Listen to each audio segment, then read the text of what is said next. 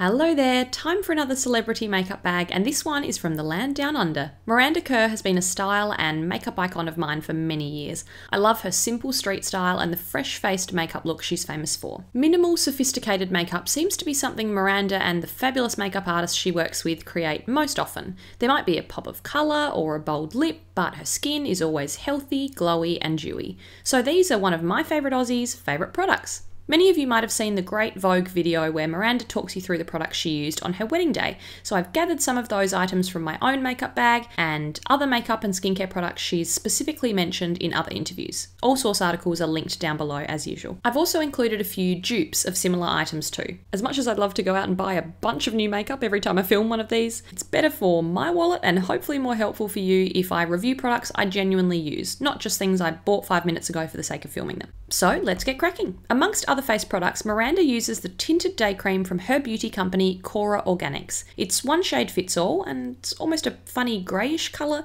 so a little bit goes a long way on me. I just mix a tiny bit in with my moisturiser in summer when I have a bit more colour on my face. Her favourite concealer is the RMS Beauty Uncover Up, but unfortunately their shade range is slightly too yellow for my pink toned skin, so I use Glossier Stretch Concealer instead in medium. I suspect these two products have quite a similar effect. Super light coverage with a dewy, skin like, seamless finish. Great for good skin days, but less staying power when it comes to covering spots. Miranda says she's obsessed with Glossier Boy Brow, and so am I. This is my favourite brow tamer to add a bit of tint and keep your brows in place all day without feeling stiff or crunchy. Looks like she uses the shade brown, and so do I. I have Miranda to thank for introducing me to RMS Beauty about seven years ago. I'm such a huge fan of this brand, and she is too. Miranda and RMS's creator, Rosemary Swift, are actually such good friends that they even share a dog, Miranda's little Yorkshire Terrier, Frankie. Miranda's been a long term fan of their famous Living Luminizer, a gorgeous, glowy, lit from within cream highlighter. Warm up this all natural, sheer, pearlescent product with your fingers, then dab it onto the high points of the face for that supermodel glow. Miranda now has a similar rose quartz luminizer from Kora Organics, actually, which I'm interested to try out. RMS Lip to Cheek in Beloved is a cream product she likes for daytime use. The balm like texture in a bright poppy red can be layered or worn as a light wash of colour. Diabolique from the same formula is a vampy shade she wore to the Met Ball in 2013 when Rosemary Swift did her makeup. A rich dark berry that can be dabbed lightly onto lips or cheeks as a stain or built up to recreate Kerr's look. Finally, Smile is a shade that I have as part of the Mod Collection RMS signature set. She mentioned this peachy orange many years ago and said she loves the formula because it does your lips and cheeks in one go.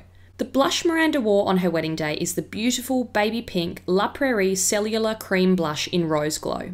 But I'm not quite there yet. You have to draw the line somewhere, and mine's a few miles back from a $90 blush. Maybe one day. A little tip is that Miranda swirls a bit of blush over her eyelids to tie in the colour all over her face. It's one of my favourite tricks as well. She wore the Tom Ford cream and powder eye colour in Golden Peach on her wedding day, definitely on my wish list, but I've found a few similar tones in my collection for now. The Chanel Stylo eyeshadow in Laurier Rose is one of my all time favourite shimmery pink shadows. It's a lovely, cooling cream formula that blends beautifully. The shade Rose Petal is an opaque pink option for a slightly more subtle look. L'Oreal eye paints are one of my favourite drugstore shadows, and the shade Irresistible Rose is an ideal baby pink. Blends really nicely, not too shimmery, and it stays all day. Otherwise, the Burberry Eye Colour Cream in Pink Heather is a favourite for a slightly smoky look that adds a natural looking pink tint to your lids. For those fluttery lashes, Miranda uses the Lancome Hypnose Doll Lashes Mascara. I've had Hypnose Star for quite a while and like how the two different sides to the brush help you add length and volume in a very natural, low key way. But I suspect you get a lot more volume from the Doll Lashes version, which is what I always look for in a mascara. Miranda loves lining her lips with Laura Mercier Baby Lips, but that shade is so popular it was sold out in three Australian cities I visited recently. So these are two I use for a natural Your Lips But Better look. Charlotte Tilbury Lip Cheat in Pillow Talk. It's a classic, isn't it? I'm sure lots of you have this or the lipstick in your makeup bag. An easy, dusty pink that looks great under many nude lipsticks or worn alone.